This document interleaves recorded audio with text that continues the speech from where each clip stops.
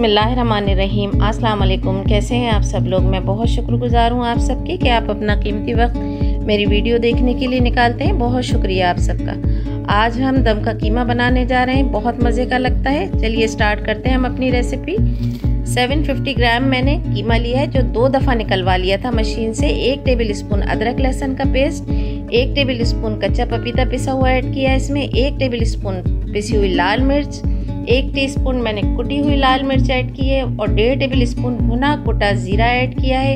एक table spoon बेसन add किया है। नमक अकॉर्डिंग टू टेस्ट ऐड किया है इसमें।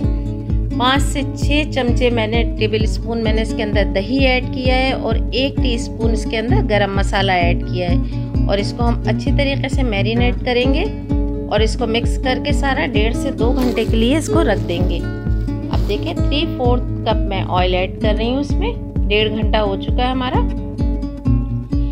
एक बड़े साइज़ की प्याज है जो मैंने बिल्कुल बारीक चॉप की है, इसको हम हल्का ब्राउन कर लेंगे। मेरे चैनल को जिसने सब्सक्राइब नहीं किया सब्सक्राइब कर लें लाइक कर लें शेयर कर लें और मुझे कमेंट करके बताएँ कि आपको रेसिपी कैसी लगी है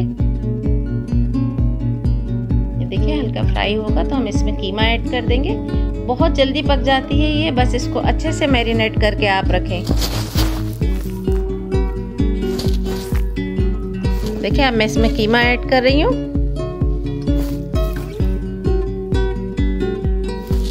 कीमा हम अच्छे से फ्राई कर लेंगे।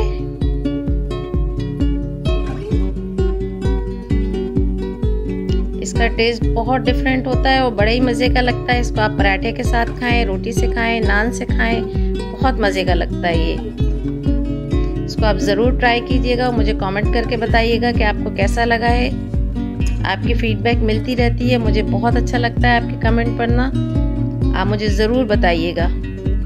देखिए, बहुत अच्छी तरीके से इसको तल लेंगे कीमा का, ताकि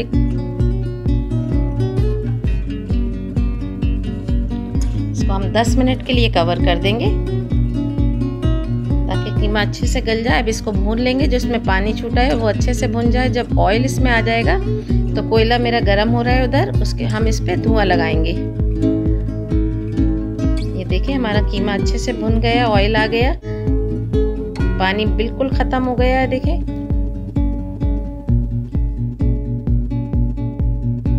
कितना अच्छे से भुन गया है। इतनी ज़बरदस्त खुशबू आ रही है इसके अंदर।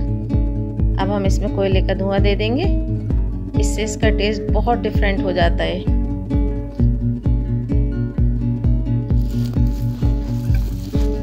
हमारा कीमा तैयार है। मैंने प्याज, अदरक और हरी मिर्चों से इसको गार्निश किया है। आप इसको ज़रूर ट्राई कीजिएगा। आपको बहुत पसंद आएगा ये। देखिए कितना ज़बरदस्त सा कलर आया है इसका। इसको आप बस मैरिनेट करके अच्छे से रख दीजिएगा। एक डेढ़ से दो घंटे के लिए फिर बहुत टेस्ट आता है इसके अंदर। आपके कमेंट मुझे मिलते रहते हैं। बहुत शुक्रिया सबका। मेरे इंस्टाग्राम को भी फॉलो करें। मिलते हैं एक नई रेसिपी के साथ. टेक केयर अल्लाह हाफिज़.